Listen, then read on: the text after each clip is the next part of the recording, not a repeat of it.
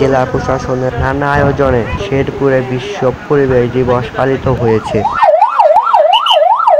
সবচেয়ে ইনোভেটিভ যে জিনিসটা ছিল যে আমরা পরিবেশ যাতে সুন্দর থাকে, সেই প্রয়াসে হলো সাইকেল র্যালি করেছি।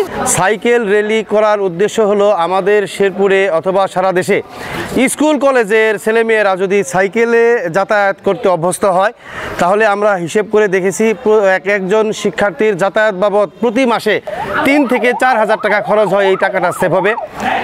তেল পুড়বে না সুতরাং পরিবেশ দূষণ হবে না। বাইপাস ব্যবহার করবে সাইকেল যারা বাহন হিসেবে ব্যবহার করবে যানজট হবে না। জেলার বিভিন্ন সরকারি বেসরকারি প্রতিষ্ঠান সামাজিক সাংস্কৃতিক সংগঠন ও বিভিন্ন শিক্ষা প্রতিষ্ঠানের শিক্ষার্থীরা অংশগ্রহণ করে।